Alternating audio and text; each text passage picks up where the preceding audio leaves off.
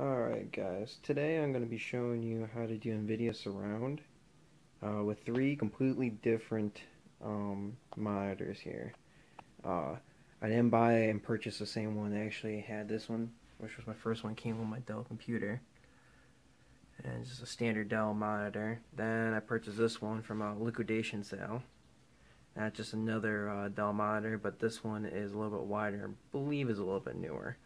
Um, and then right over here, I picked this one right up over here at Target on clearance. This is a standard uh, television uh, LCD, you know, 19 inch. Basically, what I'll be showing you is how to um, activate NVIDIA Surround with three completely different monitors. Because if you ever used NVIDIA Surround before, um, they require that all the televisions are exactly the same and I'll be showing you how to kind of get around this kind of fact. Um, before I go into showing you all the settings and how to hook them up right now, I'm going to be showing you my setup and uh, hopefully you have something along, uh, along the same lines. I'm running two graphics cards. Uh, they're both 570s, um, GTXs. Uh, one is an Asus and one is a um, I think it's an Edge or something oh no, Gigabyte, Gigabyte graphics card. Uh, I have an SLI, and um, that's the only way you can really do that with that type of great card because you need something on the higher end in order to run something like this. And also your frame rate will drop. And I'll kind of go back down here and kind of give you a, a visual of how it's hooked up. Um, this is my HD television right over here, the one I got on clearance from Target. And you have your other one over here, which is, um, I believe is my uh, secondary monitor I picked up on the liquidation. Then I have my main monitor that's plugged into my newer graphics card on the bottom. And then they're just SLI'd between the two of them. Now, you guys probably thinking, oh, why is he got a Dell? Not, it is a Dell, it is XPS, but I did change out everything. The only thing that is still Dell in this computer is actually just the case because I like it because it's big and it's metal and it works for me. Alright. So I'm gonna go further into um, how to actually set this up and I'll see you in just a second. Alright so we're back. Um, now in this part of the video we're going to uh, actually start setting up the monitors. Now in order for it to run, like I said before, NVIDIA does require that televisions do meet the same frequency, the same resolution, and um, those are those two only objectives that they really want to be done. And in this case, I definitely don't have the, uh, the same resolution. I got a 720p over here. I think this one's 1080p, and the one in front of me is somewhere in between. Um, then I have completely different uh, refresh rates, especially on the LCD. So basically you're trying to trick your computer into thinking that it has a television that it really doesn't. So the first thing we're going to do is you're going to go ahead onto your desktop um, and you're going to right click right here in the empty space and then you're going to scroll down you're going to have NVIDIA control panel. Click on that and I'll bring that up. Now mine's going to be inactive so you're going to see a little bit different setup on yours but the, the concept is identical and you want to go right ahead and in some cases um, NVIDIA will change the refresh rates and stuff like that for you. So try and go ahead and use the um, SLI configuration and you know do surround sound and configure that button right there in the center. But in my case it did not work for me because obviously mine were completely off. So I'm gonna have you go ahead and right click again and you're gonna go down to your screen resolution. I popped up off a window but um, as you can see mine's already working but if you go ahead and I go ahead and click on let's say the LCD screen I don't know it still says 372 by 780 uh, 768 so in this case what you want to do um, you'll see three different monitors on here and each one will have their own resolution their own basically everything. And you're going to go through, and it's different for everybody, so I'm not going to show you exactly, but pick the display and then go through and click on your resolution, uh, resolution, and go through um, the resolutions that your monitor can actually output. And basically you want to get the highest resolution that matches the same ratio so they're not out of, you know, they're not funky and stretched. But um, they all have the same resolution. So you want to scroll down. So like if you have, if like this screen over here is 720p. Now it can only put out 720p, but it does support up to 1080p. So I would go ahead and select the resolution that would give me the 1080p um, resolution over here. Now it might, be, might not be outputting that exact resolution, but it supports it. So therefore it's in ratio with the other two monitors. And that's what you want to do. And your computer will pop up with a yellow box saying that, oh, that's not the correct resolution for the television. You're not really looking for that. You just want to get it so that way all of them are at least getting the same frequency and the same resolution all at the same time. Alright, and that's going to give you your best outcome. So is that you basically want to go with the highest resolution that all three monitors can take and at the same resolution. You know, um, compare, you know, comparable. How can I say this? Uh, you know that they match. You know, um, in the in the height and the width and the resolution. Okay, after you get that done, um, I'm going to do the rest of it from the NVIDIA control panel. So I'll go ahead and scroll this over here. And you're going to go down to your displays, and then you're going to go into change resolution. And once again, mine is here.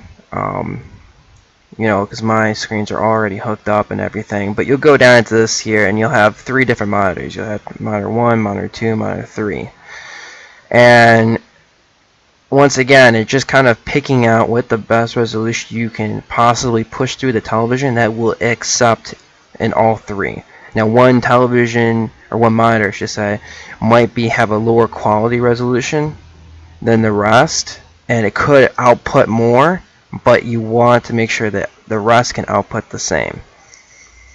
So um, in this case, I believe I had like something like this can do like 1080p. This one right here in front of me that I'm using the screen recorder on, and the rest can um, can do lower than that. But I had to kind of downgrade the resolution just a little bit on this one monitor. So I went ahead and did that, and um, made sure that it kind of went through because NVIDIA sometimes in its own programs requires you to do it through here. I've had some luck back and forth, um, especially with my two different computers I was working with doing this. Um, it it kind of depends on the system if it has to be done inside this field or that field, but I recommend doing this one first because it's a simpler one and it shows you all the resolutions supported. Um, NVIDIA will give you every single re resolution, even the ones it doesn't support, and you can have black screens and waiting the 30 seconds for it to come back around and reset. Okay, so after you get your resolutions, everything's kind of done inside NVIDIA for resolutions. You want to kind of look over here on the refresh rate. Uh, refresh rate have to be the same too. So you have to make sure that they're refreshing all at 60 hertz or all at 120 hertz or whatever. Um, I recommend the 60 hertz because that just works better and your graphics card can output that very easily. Well, not very easily if it's not a good card, but it's a decent, you know, refresh rate. If you're doing something, you know, and trying, you have one 120 hertz monitor and you got two 60s, you got to go back down to 60. If you try and push 120, first of all, your uh, refresh going to blow and your FPS is going to suck. Uh, but uh, you're going to want to just kind of downgrade that because you are pushing through the signal through three televisions at the same time. It's not going to work the same as just one. And then finally is your color bit, High highest 32-bit. I mean, mo uh, most always be the same. Um, I've only had one run in, and I think it was actually with this in, um, television over here because it's running through HDMI. I had to, to push the, the color bit up, but I mean, it did nothing really that I could you know see, so it, that was fine. Um, but once you get everything, all three of them through here, you have identical everything. It registers through your NVIDIA control panel and it registers through your actual screen resolution. This is when you can actually proceed and go back up to your settings and then your configuration. You can see mine are SLI down here. Then I have two in the top card and then one inside the other one. And I was mistaken at 550s. I think I said uh, 570 my mistake. Um, So go ahead and uh, put that, uh, you know, put, put them in there, and then go ahead and hit the spans display, and then configure them. Alright, so after you have all that done, you're going to hit the configure tool and then it'll take you from there. That's just like a simple set setup and install process. Only thing left um, that I would like to say before I uh, kind of let you go and figure this out for yourself is make sure that you have your cards SLI'd and that you can't just take two random cards and put them together. They have to be the same card and they have to be connected via SLI. Um, second thing is is that uh, if you're trying to do this with one single card, make sure it does support NVIDIA Surround. Not all cards support this. I mean, I have uh, both these cards, 550s. Um, you can't just stick three monitors inside there. Even though they have three ports, does not mean they support three displays. It just means that they have three different ports that you can put a television in.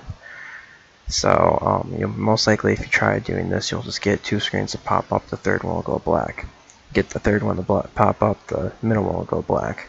It, you know, kind of kicks out the lowest one. But besides that, if you have an SLI or a high enough graphics card, three decently alright computer monitor screens, I mean, and wouldn't recommend getting a tube television, putting it next to it, and then putting another one over there. Your the ratio would be all messed up and will not work. Uh, one other thing too is that um, you do have to kind of figure out um, how your uh, graphics cards work. Um, I did forget to mention that uh, in moving this computer from one area to another location, I did move the connections around on the console. And I don't know why this happens, and it probably won't happen in your case. But um, in my case, um, I had uh, the Dell, uh, Dells both plugged into uh, the G, uh, this one right over here with the two D DVI ports, and then the LCD screen was plugged into the GeForce. Um, I believe that's the ASUS card. And for some apparent reason, I don't know why, but the computer wasn't registering it correctly, and it would not let me proceed into the um, configuration. Now, when I flopped them around to put the Dell with the GeForce, and then flip flopped the other one over here, um, it turned out fine and had no problems whatsoever. I don't know what that is. I don't know if it was maybe because I had moved the display port, um, or the, the, the, the default display port, which is the, the monitor that's directly in front of you, and I flip-flop the ones on the sides, or, or so on, or maybe I, I put the wrong monitor in the wrong, um, maybe there's a sequential order of uh, the graphics cards that it likes. I don't know, honestly, but um, if it does not work out for some apparent reason, try flip-flopping the connections around and matching up in different ports, and you might have better luck. Um, and I'll remember to like, comment, and subscribe.